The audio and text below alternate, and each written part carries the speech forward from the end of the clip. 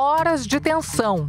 Esse vídeo foi gravado logo depois que a bebê foi encontrada e levada para um hospital. Ela passou por exames e está bem. A bebê sequestrada em Uberlândia foi encontrada a 134 quilômetros de distância em Itumbiara, interior de Goiás.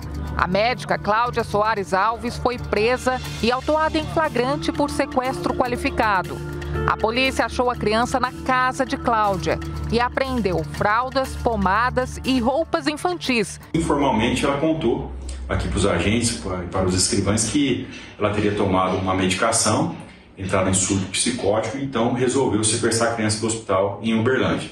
Essa, essa versão nós não acreditamos, até porque a própria localização desses objetos na residência dela demonstra que ela já havia premeditado o sequestro. O crime aconteceu na noite do último dia 23. Nessas imagens, dá para ver quando a mulher desce do carro, perto do Hospital das Clínicas, em Uberlândia, às 11h18 da noite. Ela está com jaleco, máscara e luvas de borracha. Às 11h55, ela aparece caminhando rapidamente, com a criança nos braços. Entra no carro e foge. Segundo a polícia, ela se identificou como pediatra para entrar na maternidade e usava até um crachá. De acordo com o pai, a médica disse que levaria a menina para se alimentar. Tinha identificação, tudo, jaleco, uma mochilinha, tipo que tava trocando de turno mesmo. E aí ela chegou, falou, não, vou levar ela só aqui na sala de frente aqui para dar um, um leite com aquele de copinho e já tô trazendo ela. Nas redes sociais, Cláudia diz que é médica neurologista e professora de duas universidades. Casos como esse preocupam famílias. Afinal de contas, como a mulher conseguiu entrar e depois sair do hospital sem ser barrada pelo sistema de segurança?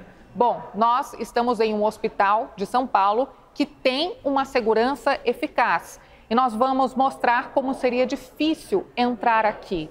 A Elaine ao meu lado, a gerente de enfermagem. Elaine, por exemplo, se eu chegasse na recepção e dissesse que eu sou uma médica, o que, que o segurança pediria para mim? Vai pedir o seu registro e vai ser verificado na fonte se você é um profissional da saúde. Caso você não seja, você não tem acesso à instituição nem como visitante. Para chegar até os quartos onde ficam as mães com os bebês, existe mais uma barreira.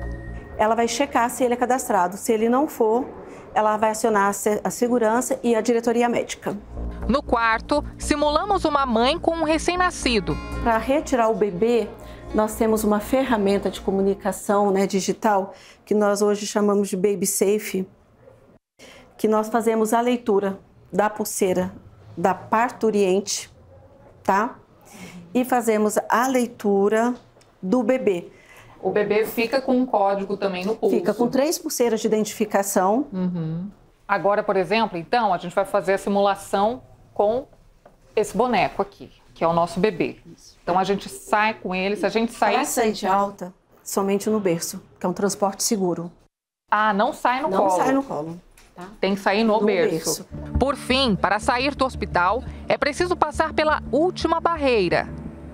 Neste momento, ele também tem a ferramenta chamada Baby Safe, que faz a leitura da pulseira da parturiente. A leitura. E faz a leitura da identificação do recém-nascido. Então, nós certificamos que o bebê está saindo com a mãe certa no momento certo de alta. Inclusive para não haver troca, troca de, de recém-nascido, exatamente. Segundo o último anuário de segurança pública, a subtração de crianças e adolescentes subiu 28,4% no último ano no país. Segundo esse advogado, especialista no Estatuto da Criança e do Adolescente, o crime cometido pela mulher fere vários artigos do Código Penal brasileiro.